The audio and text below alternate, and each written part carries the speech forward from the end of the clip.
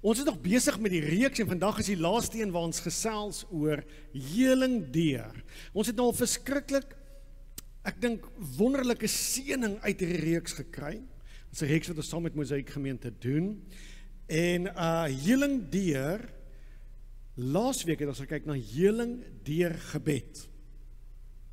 Laasweek kon ek nie hier gewees het nie. Uh en uh Ek kan nie wag om hierdie week daaroor te praat nie.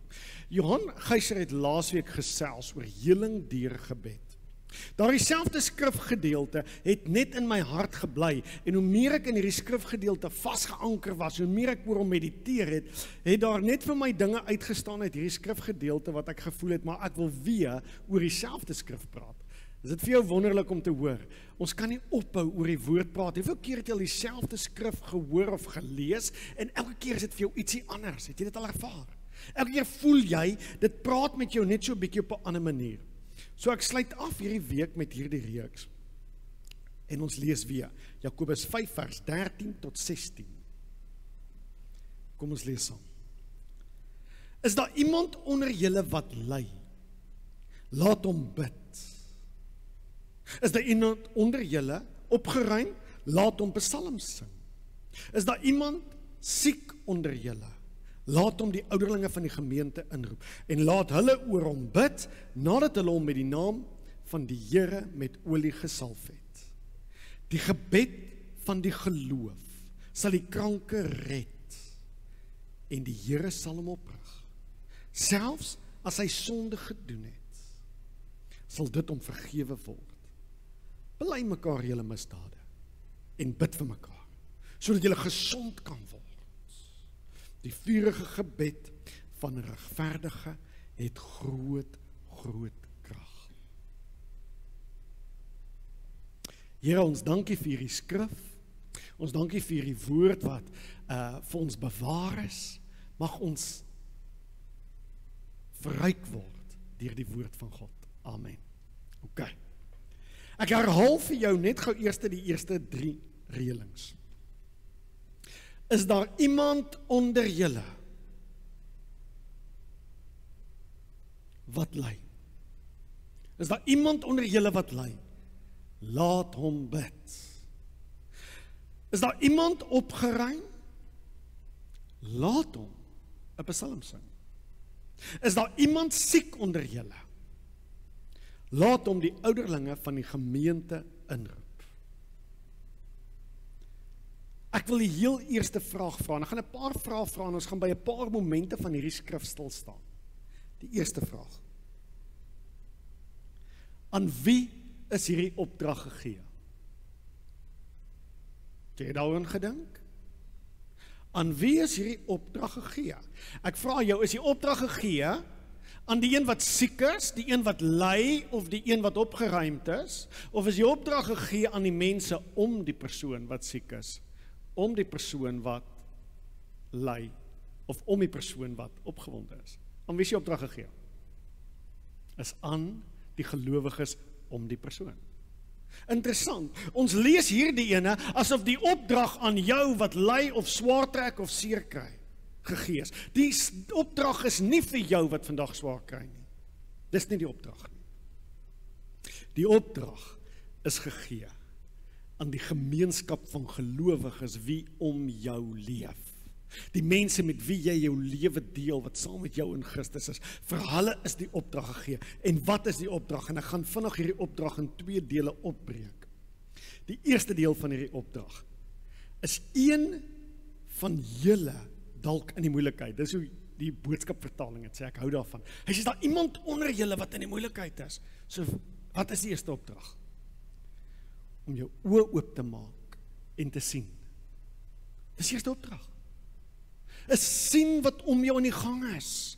Word bewus van medegelowiges om jou. Hoeveel keer stap ons by 'n gesprek en by 'n gesprek uit en jy weet nog minder van daai persoon as voor jy begin met daai persoon praat het. Ons is net onbewus. Ons is totaal onbewus. OK. So leef op so 'n manier dat jy kan sien. Dit is die opdrag. Leef in gemeenskap en dit is die hartseer en dit is die groot Een van die groot skades wat ons aangedoen is, en ek hoop is net tydelik, wat die COVID-19 ons wêreld toe bring. Is ons is nie meer onder mekaar nie. Ons is nie meer onder mekaar nie. Ons is verbind, wel ja, elektronies verbind. Ons is op social media verbind en soms kom ons hier en daar in klein groepies en wanneer ons dit doen, soos dit met my laasweek gebeur het, moet jy isoleer weer vir 'n ruk omdat jy gewaag het om vir 'n klein rukkie in 'n klein groepie bymekaar te kom. Ons verloor iets. Ons verloor iets. Ons verstaan hoekom. Ons wys nie vingers nie. Maar ons moet bewus wees, dit waar ons ons nou bevind is nie die stand van sake hoe dit moet aanhou nie. Eerens gaan daar 'n dag en 'n tyd kom waar dit verander. En ons moet dit weet, ons moet dit nie verloor nie. Ons moenie ons manier van praat en ons manier van deelneem verander. Ek sit nou-nou en praat met iemand hier agter. Vir ons vir mekaar sê, ons is amper bang om by mense te wees. Moenie laat hierdie vrees ons aangryp nie want daar is uitdruklike opdragte in die woord van God wat ons gaan verloor. Ons gaan skade kry. So, hoe sing ek? Hoe leef ek tussen mense en ek kan sien wat gebeur? Die eerste een is daag op. Daag op. Weet jy wat? Soms is die Here se versoeke aan ons nie verskriklik tegnies nie. Dit is baie keer eenvoudig. Wees net daar. Daag op. As ek en jy nie opdaag nie, so die wat vandag hier sit, jy is vandag in staat om hierdie opdrag uit te oefen. Want jy kan om jou kyk en jy kan kyk, "Jo. Daai oogies blinkie vir my soos dit altyd blinkie. Waar's jou hart?" Dis my opdrag. Die opdrag is nie vir jou wat swaar kry nie. Die opdrag is vir my om raak te sien jy kry swaar om dit te beleef, om dit te voel. So as ek nie opdaag nie, hoe kan ek dit sien? En dit is om in gemeenskap te wees van gelowiges om te kan sien as iemand swaar trek, om iemand goed genoeg te ken as hulle swaar trek. Jy verstaan hulle, jy ken hulle. So die eerste manier hoe ek sien is ek daag op, maar die tweede manier hoe ek sien is as jy opgedaag het om daar te wees. Ek weet dit is eenvoudig en dit klink heel stupid. Weet jy hoeveel keer daag ons by plekke op en ons is absoluut onbewus van wat aan die gang is? Ons is so vol van ons eie gedagtes, ons eie wêreld. Ons ego skree so hard van alles wat ek nodig het. O, ek hoop my klere lyk mooi, ek hoop my hare lyk mooi, ek wat wat daar nie. Hoekom staan daai nie by my in gesels? Hoekom praat daai nie met my nie? Wat dink daai nou? Hierdie koffie is te sterk. Ek kan nie eintlik van sterk koffie onthou. Ons is so in ons eie wêreld. Laat ons nie bewus is van wat ons om ons anders nie. Ons is nie in die oomblik nie. Ek love hierdie gedeelte wat uh, in Eksodus 24 vers 12 God gee vir Moses 'n opdrag en dit is my altyd so 'n uh, so 'n uh, mooi prent van hoe ons onsself beleef baie keer. God sê vir Moses, ek lees vir julle uit die King James uit. Hy sê Dit is nou net voordat hulle hy wil die wette vir Moses gee. In die woestyn eh, vir die Israeliete wil hy nou Moses oproep berg toe vir hom die wette gee en God sê dit. Hy sê and the Lord said unto Moses come up to me unto the mountain and be there. En ek is altyd so komieklik vir my. Dit is asof iemand vir jou sê kom in die kerk in en wees in die kerk. I mean, waar gaan jy anders wees as jy in die kerk is? Jy verstaan. Dit is klim in jou kar en wees in jou kar. Dit is 'n dubbelsinnige woord en sin wat hy uitspreek en dit klink stupid. Maar God ken Moses.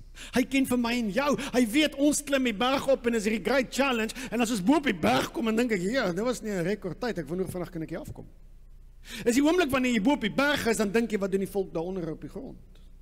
Is jy is nie op die berg En as ons sê daag op nommer 1, maar nommer 2 is wees daar, is wanneer jy by iemand is, maak seker jy voel die sielswese van daai persoon aan. Wees daar. Stel belang in die mense om jou. Kyk na hulle, hoor hulle, sien hulle raak. Jy al in 'n skare gewees en jy gevoel vir jou niemand sien jou raak nie.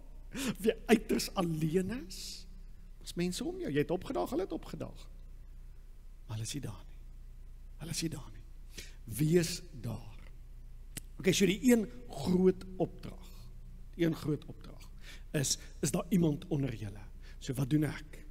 Ek daag op en ek kyk rondom my met 'n diep bewustheid as ek bewus van jou wat hier is.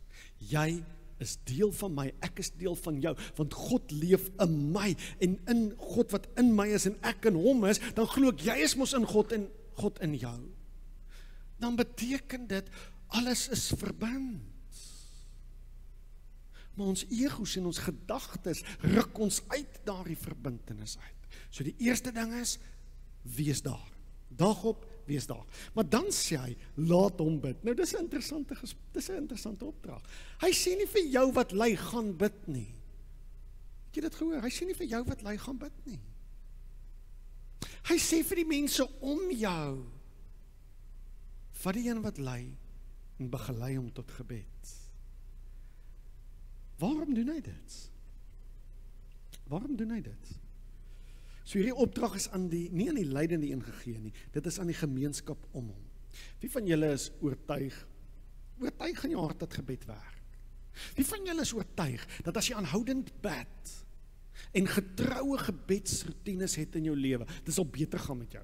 Ek is seker almal van julle wat hierna hoor, is oortuig daarvan seker julle weet dat wanneer ek aanhou bid, gaan ek gesonder wees. Nie net op 'n fisiese manier nie. Ek gaan meer vrede in my lewe wees. Ek gaan meer van God ervaar, ek gaan liefde, ek gaan geanker wees in liefde en liefde gaan deur my vloei. Dit gaan voel of ek meer heling het in my lewe. Ek gaan geanker wees in God.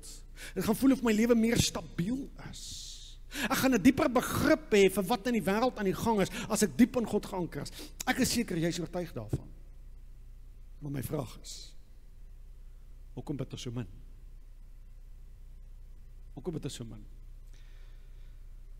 Ek dink ons het 'n wanbegrip van wat gebed is. Jy sien in die Ou Testament het ons hierdie beeld gekry van gebed. Gebed het so gelyk. Dat God het gewoon in die tabernakel en hy het in die allerheiligste geleef en God was diep heilig en sonde kon nie met God verbind nie want as enige onreinheid met God verbind dan sou dit onmiddellik vernietig word. So hoe het mense gebid? Hoe het hulle met God gepraat? Is die hoëpriester het een keer 'n jaar moes hulle groot offers doen. En hy moes homself reinig. En dan moes hy op 'n totale plek van heiligheid kom. En sodra hy offers gedoen het, sodra die bloed besprinkel is op alles wat moet gedoen word, dan was rituele waardeur hulle moes gaan dan moes hy onmiddellik vinnig in die allerheiligste ingaan. As hy nie vinnig aanbeweeg nie, dan kon hy dalk Sondag vandat hy geheilig is totdat hy ingaan. En vir van julle dink ek daar's nie genoeg tyd gewees ooit nie. Sonde gebeur hier in die gedagte so vinnig voor jy daar aankom, jy sal mors dood neerval daar. So wat het die priesters gedoen? Hulle tou hom hulle vasgemaak. Dat 'n klokkies aan hulle soem gehad, sodat wanneer hulle in die allerheiligste ingaan en hulle bedien die offers vir God daar binne, dan vra hulle verzoening vir die hele volk se sonde. En dan as hy iets onrein in homself gevind sou word, sou hy mors dood neerval. En nou sou die in die allerheiligste, adien wat in die allerheiligste is, met 'n tou om sy lyf wees. En dan sou die ander in die heiligste deel staan en in die, die voorhof staan en luister hoor hulle die klokkies. As hulle vir 'n lang ruk nie by die klokkies hoor nie, dan begin hulle aan die tou trek want dan dink hulle hy dood neergeval voor God in sy teenwoordigheid. Jy sien ons het hierdie konsep dat God is heilig en dis reg. En ons het hierdie ander konsep dat wanneer ek na God toe kom, moet ek in absolute reinheid en in die heiligste moontlike wese wat ek kan wees voor God kom, want ek is heilig, kom ek voor God wat heilig is. Dis wat ons vir God wil gee. Ons wil vir God die mooiste en die beste van onsself gee. Daar's niks fout daarmee nie. Maar dit roof ons van iets. Dit roof ons van die Nuwe Testament. Jy sien as ons vir God net wil bring wat heilig is. Is daar 'n realiteit wat ons wakker word? Ek voel nie elke dag so heilig nie. Het jy dit ervaar? Ek voel nie elke dag dat alles so rein nie. Ek voel soms frustreerd, ek soms so kwaad, ek soms teleurgesteld. Ek is soms net verward en ander kere as ek teleurgesteld sommer in God waar ek myself vind en wat nou in die gang is. Soms en baie gereeld is daar negativiteit in my hart en in my gees. En wanneer ek die goeters voel, wil ek nie na God toe gaan nie, want ek voel nie dat ek is 'n offer wat hy kan aanvaar nie. En dit bou 'n weerstand tussen my en God. Dit bou 'n weerstand tussen my en God. Soms is ek kwaad, ek voel woede, ek teleurstelling, verleend. Soms is ek verveeld. En as dit maar my gebedstyd kom, voel ek maar Ek sien nie regte moed nie. Ek sien regte plek nie. Hoe kan ek dit wat ek is nou by God se teenwoordigheid instap? Is nie reg nie. Nou. Die vraag het gekom. Hoekom sê Jakobus vir die gemeenskap van gelowiges om die een wat siek is, laat hom bid? Want soveel te meer As jy siek is, word jy aangeval met negativiteit. Wie kan daarvan getuig? Het jy dit al ervaar? As jou liggaam swaar kry, as jou geloof man soveel moeiliker dat wanneer jy swaar kry in 'n moeilike plek is, siek is of ly, op 'n fisies ly of emosioneel ly, is dit vir jou so moeilik om dit wat jy ervaar in God se teenwoordigheid in te stap en eg en reël voor God te wees, want jy dink nie dis 'n offer van goeie gehalte voor God nie. Dis wat ons dink. Ons voel nie ons kan presies voor God kom doen wat ons voor hom moet doen nie. So Jakobus sê roep die gemeenskap van gelowiges om om jou te kom en saam met jou te stap na die heiligte toe van God. Nooi hulle om jou te begelei soontoe. Ek uh, ons moet nou verstaan wat gebed is. Hoe doen ons? Hoe lei ons mense na hierdie plek toe? So ons het hierdie idee dat als in my is nie skoon nie, is nie reg nie, is nie rein nie en dis baie min geleenthede waar ek regtig diep verbind voel en heilig en rein voel waar ek dan regtig kan bid. So hoe kom ek en jy en ons begelei iemand na gebed? Wat op 'n moeilike plek in sy lewe is. Eerstens, ons herinner hierdie persoon wat gebed werklik is. Wat is gebed vir ons vandag? Ek wil woorde aanhaal van Ronald Rolheiser. Uh sy idee oor gebed, hy sê prayer is bringing heart and mind to God. Prayer is bringing heart and mind to God. Vertel 'n storie. Daar was 'n Joodse man en hy was getrou sy hele lewe lank in die Joodse godsdiens en hy het gereeld op die Sabbatsdag het hulle die dag deurgebring deur eerstens na die sinagoge te gaan en daar het hy die Sabbats gebede gebid. Maar hy was 'n plaaswerker en sy veld waar hy gewerk het, hulle het nie altyd in die dorp by hulle, hulle eie veld gehad nie, so hulle moes uit die dorp uit gegaan het na 'n stukkie grond wat hy besit het. En soos wat hy gewoonte gegaan het, het hy die dag voor die Sabbat het hy gaan werk op sy grond. En hy het so betrokke geraak in die werk dat hy onbewus was van hoe laat dit raak. En daar is sekere sabbatsreëls wat hy nie mag oorskry nie. En toe hy sien dit gaan nou son onder raak, weet hy iewes skielik hy sal moet vinnig terug gaan huis toe. En toe hy die tye bereken, toe besef hy, eerstens is gevaarlik om in die donker te reis nou terug huis toe, maar tweedens, ek gaan dit nie maak nie. Die sabbatsreëls gaan reeds in plek tree en dan mag ek nie meer reis nie dan gaan ek ergens langs die pad vasgeval word.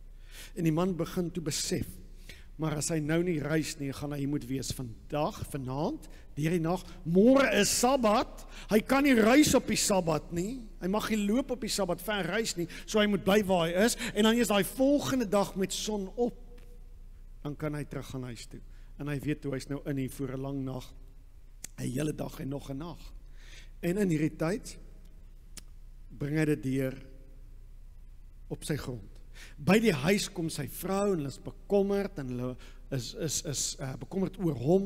Sy laat die rabbi kom en die rabbi sit daar en wag by die huis en die volgende dag met son op net so kom hy toe nou daar by die huis aan. En soos hy by die huis aankom, sy vrou klop hom tegemoet om hels hom en sê: "Waar was jy? Vertel vir haar die storie." Hy kom in die huis, die rabbi sit daar en die rabbi sê vir hom: "Hoe onverantwoordelik van jou." Hoe jy moes die tyd op hy sê dit het gebeur, ek weet. Die rabbi sê vir hom: "Nou hoe het jy gebid?" Want jy ken nie al die sabbatsgebede nie, want die sabbatsgebede word begelei. Hoe het jy gebid? En die man het by homself net gedink.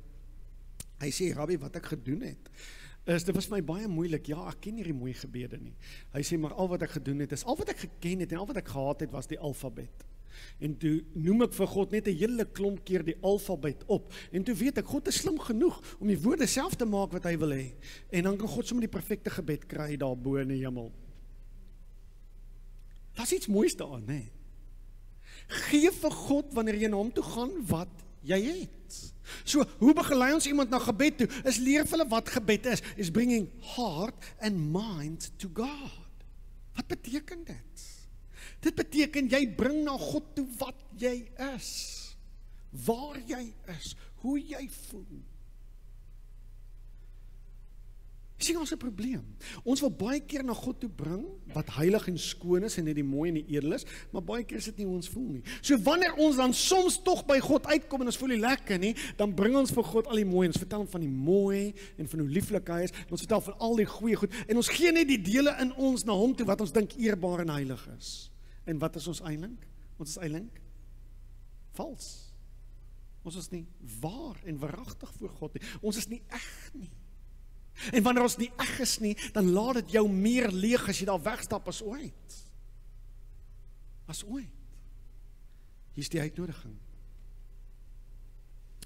Bring hart en mind na God toe. Bring wat in jou hart en jou gedagtes na God toe. Voel jy voel jy ontsteld? Bring dit na God toe. Voel jy teleurgesteld in God, dan sit jy in sy teenwoordigheid en jy bring dit na hom toe. Voel jy seksueel frustreerd, dan gaan sit jy op jou knieë voor God en jy bring dit na God toe. Voel jy verveeld, Ronald Holheiser sê dit mooi, hy sê, dan sit jy in God se teenwoordigheid verveeld. Maar jy wees nie iets anderste as wat jy is nie. En so, as ons iemand sien ly onder ons, hoef hulle nie hierdie lang, pragtige en mooiste gebede te bid nie. Hulle hoef net voor God te sit en soos praat as wat jy met 'n vriend praat en vertel van wat jy ervaar en wat jy voel, jou vrese, jou bekommernisse, jou woede. Gaan bring dit voor God net soos jy is. So help ons mense om voor God te kom in gemeenskap. OK, so een van die dinge is ons leer hulle wat gebed is. En onthou net dat ek net dit noem, hoekom kan ons nou by die allerheiligste ingaan van die offer wat Christus vir ons gebring het aan die kruis, die voorhangsel geskeur. So nou stap ons na God toe, nie in ons sondige toestand nie. Al voel jy jy's daar son en daar stikkend en daar seer in jou, jy's bekleed nou met Christus en dis hoekom ons nou voor God kan sit, nê. In daai bekleedheid kan jy voor God sit nou. Maar nou. Ons leer hulle wat gebed is. Die tweede ding wat ons doen, Ons bid saam met 'n gelowige wat sukkel om te bid. Jy sit langs hom en jy bid saam met hom. Soms het ek al gevind dit's mense so diep in seer en in trauma dat hulle self nie die woorde kan vorm nie. En dan help ek. En ek sit langs 'n medegelowige ek sê bid saam met my. Here, ek het U nodig sê net daai woorde. Soms help ek hulle net om 'n paar sinne te bid sodat die woorde oor hulle lippe kan vloei en dat hulle aandag van hulle pyn en seer kan afhaal en begin op God rig en dan begin die woorde vloei. Dis nie perfekte woorde nie. Dis nie mooi gevormde sinne nie. Dis nie 'n tipe gebed wat jy in die kerk kan opstaan en bid en voel almal dink, "Hoe, daai man kan mooi bid nie." Maar dit is reg vir God. Dis wat hy wil hê. Hy soek jou hart. Hy soek jou gedagtes. Hy wil weet waar jy is. So hoe doen ons dit? Ons vertel hulle wat gebed is en dan begelei ons hulle deur saam met hulle te bid. En dan ietsie wat ek net persoonliks insit, is daar's kere wanneer ek myself kry waar ek in hierdie plek is waar ek nie voel om te bid nie. En dit is moeilik, maar ek weet ek het dit diep nodig. En wat gevind het my baie help is wanneer ek begin my gebed skryf.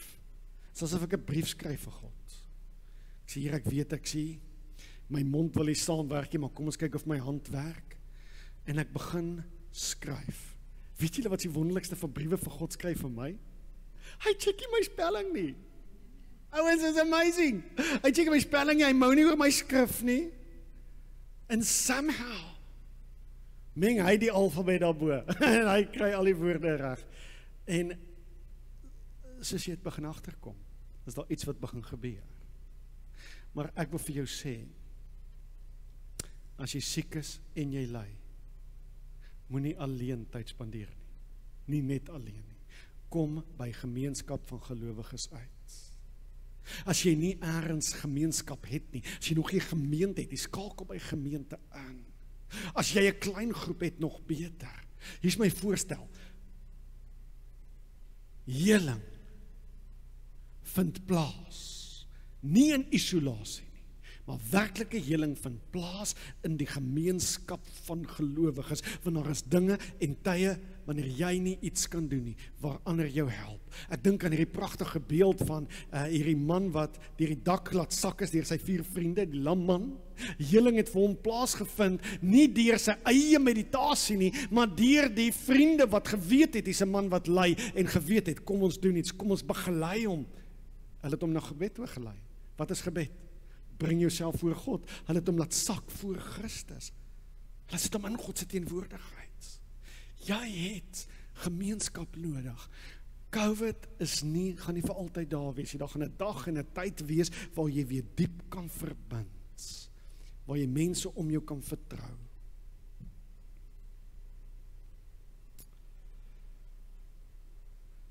Ons ervaar werklike heling wanneer ons in gemeenskap leef. Vinnig by Kaleidoskop sien ons altyd drie vlakke van gemeenskap. Die eerste vlak van gemeenskap is makrogemeenskap. Dis wanneer ons in 'n groot gehoor bymekaar kom. Dit het baie seer gekry in die afgelope ruk. Groot gehore is heeltemal amper een kant toe gedruk. Dit gaan weer herstel. Die tweede vorm van gemeenskap is 'n kleiner groepie. In 'n groot gehoor kan jy nog wegkruip. Stem jy saam? In 'n groot gehoor kan jy nog insluip en jy kan uitsluip.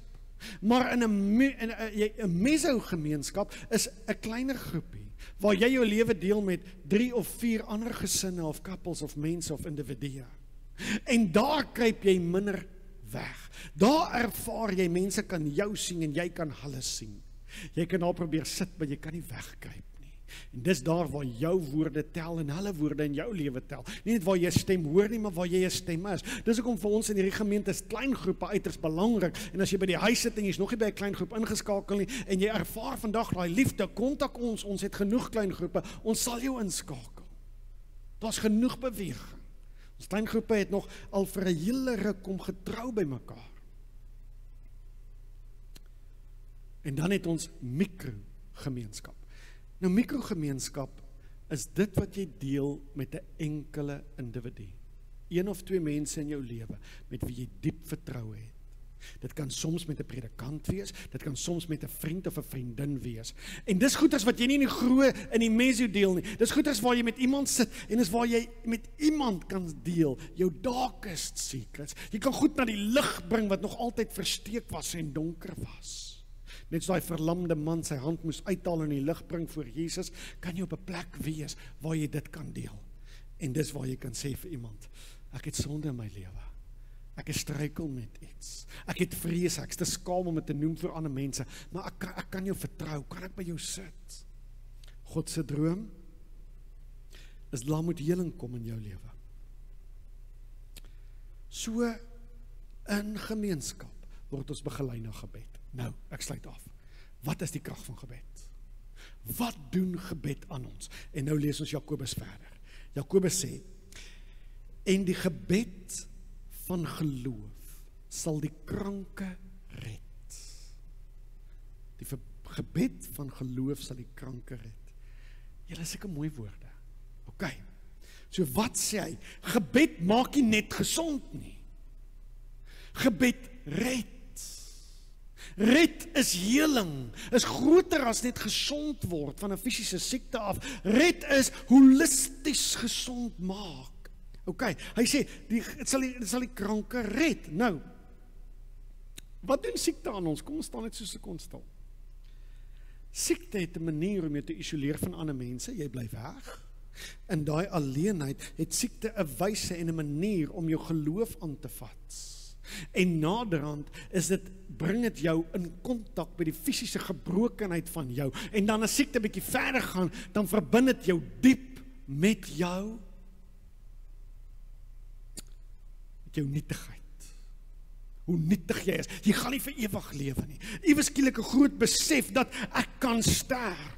Daar kan 'n einde aan my lewe wees. Jy weet van mense om jou wat sterf. Ek praat in die week met 'n vriend. Hy sê vir my in die afgelope week, hy loop met soveel vrees rond. In die afgelope week het hy van 3 vriende gehoor wat gesterf het. 3. Dit het siekte daai uitwerking op 'n mens. En weet jy wat kan dit doen. Is die oomblik wanneer ons siek is, wanneer ons ly, wanneer ons swaar kry, dan bring dit ons na 'n plek dat my lewe kan eindig. En dit bring jou op 'n plek waar jy besef ek ken nie alles nie. Ek het nie alles nie en ek is nie so in beheer soos ek gedink het nie. Dit is dan wanneer jy die knie kan buig en sê ek het God nodig. En soms is dit een van die wonderlikste ding wat jy kan doen, nie siekte nie, maar die besef van my gebrokenheid, die besef van my nietigheid. Begrafnis doen dit ook. Wanneer jy by die plek van gebrokenheid staan en 'n skielike besef het dat ons is nie ewig. Ons gaan nie vir ewig lewe nie. Hierdie vlees, hierdie lyf gaan nie vir ewig lewe nie. Ek het 'n nietigheid in my en ek verbind daarmee. En dan kan daar iets gebeur en jy kan na God roep. So die oomblik wanneer ons bid, is dit eintlik om uit te skree, Here, red my. Red my. Daar's iets wonderliks daaraan. Daar's iets wonderliks daaraan. Jy sien die probleem is as ons dink daar's niks fout met ons nie. As ons dink ons het nie redding nodig.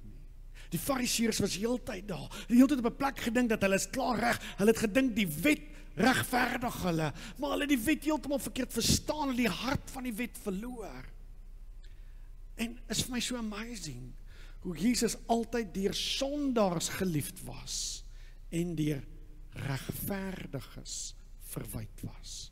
Ek kyk na hierdie pragtige skrif Markus 2 vers 16 tot 17.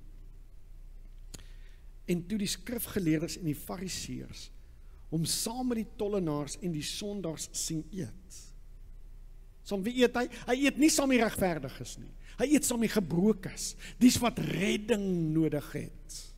OK, hy eet saam met hulle.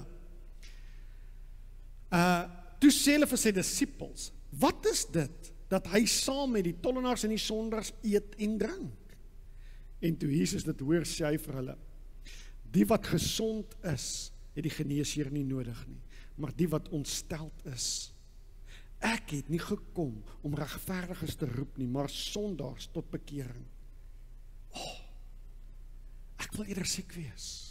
Ek wil eerder redding nodig hê. Ek wil eerder bewus wees dat ek gebroken is voor God en dat ek soos 'n sondaar by sy voete kan sit. Ek wil nie eendag op 'n plek kom waar ek sê ek het nie Jesus nodig nie. Gebed is een van daardie dinge waar ons ons knie buig voor God en bely. We need you God. Ons is afhanklik van U. Ons het U elke dag nodig. Daar's groot krag in gebed.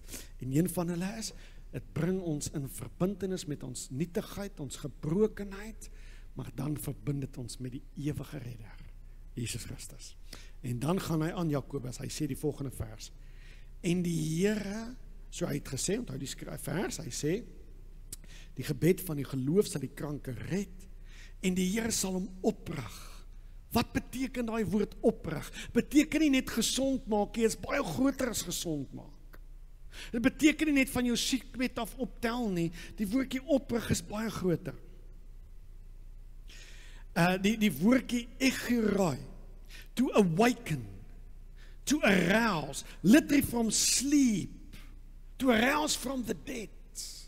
Hy sal jou oprig is om wakker te word uit jou diep slaap uit. So wanneer jy begin bid en met God begin praat, sal die gebed van 'n geloof sal nie net jou liggaam gesond maak, dit sal jou uit 'n diep geestelike slaap uit oprig. Dit sal jou uit 'n diep geestelike dood uit lewendig maak. Dit bring jou na 'n plek toe waar jy kan lewe in die realiteit dat God is werklik.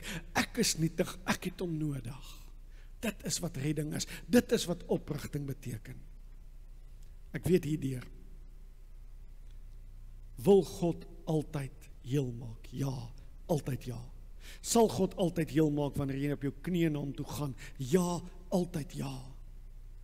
En soms sal daai heling ook fisiese genesing insluit. Soms sluit dit fisiese genesing in. Dit is nie altyd fisiese genesing nie, maar volkomme heling altyd. Volkomme redding altyd. En wat sê dan oprig? om jou opdrug in die slaap uit wakker te maak dat jy die lewe kan beleef en kan sien.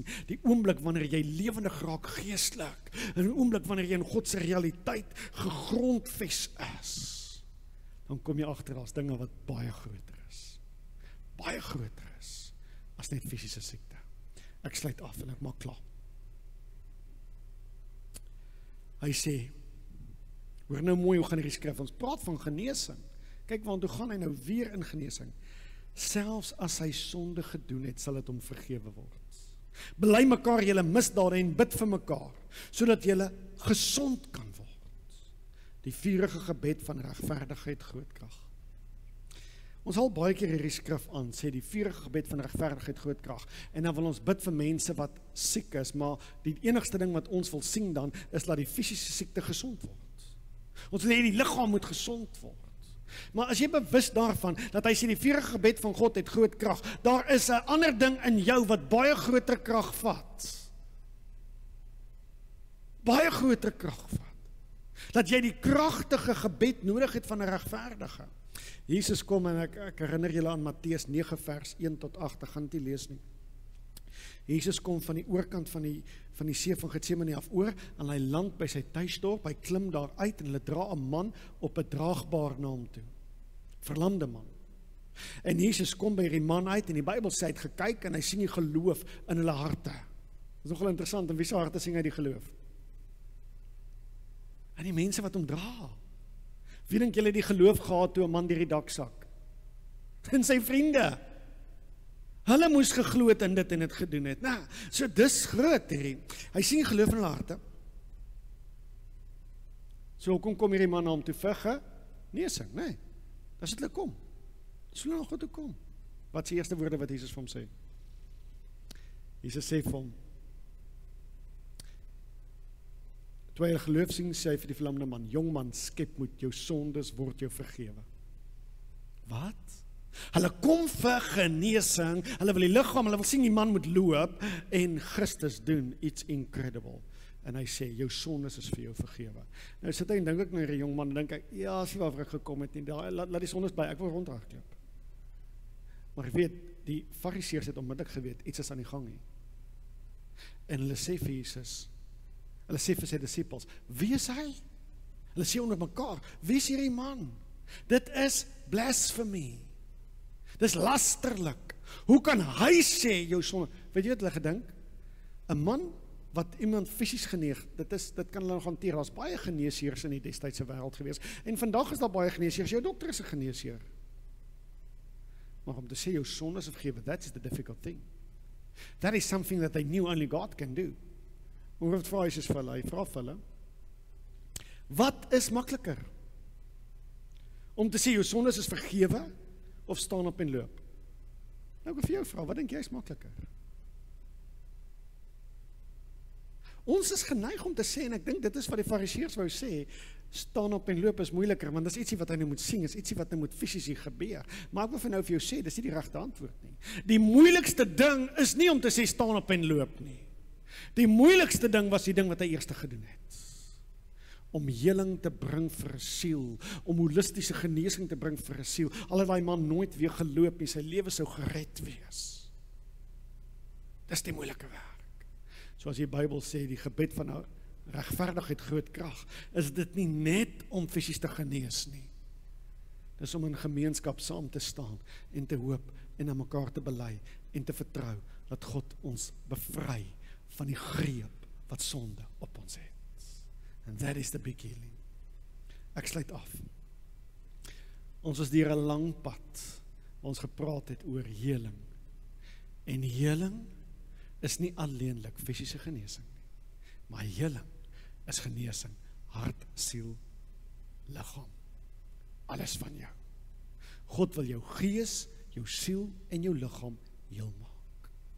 En daar is tye Daar is tye wanneer die fisiese genesing nie onmiddellik is nie, of daar is tye wanneer die fisiese genesing glad nie kom nie. Maar weet dat heling plaasvind. God is diep geïnteresseerd in jou volkome heel by hom. Kom ons buig ons hoofde.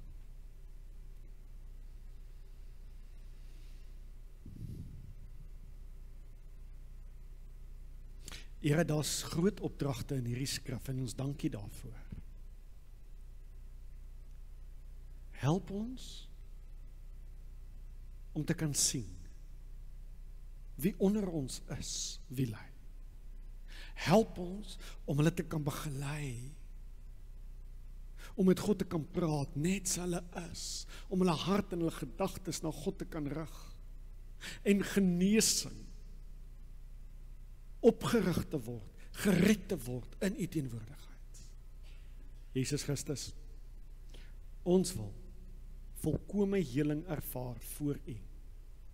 Mag u ons begelei wat dit beteken om te bid. En mag ons mekaar leer hoe om te bid. En mag ons weer groot vrymoedigheid kry om te bid. Want dit is daar in gebed tussen gemeenskap van gelowiges waar diep redding in ons plaasvind. Ons dankie daarvoor. Amen.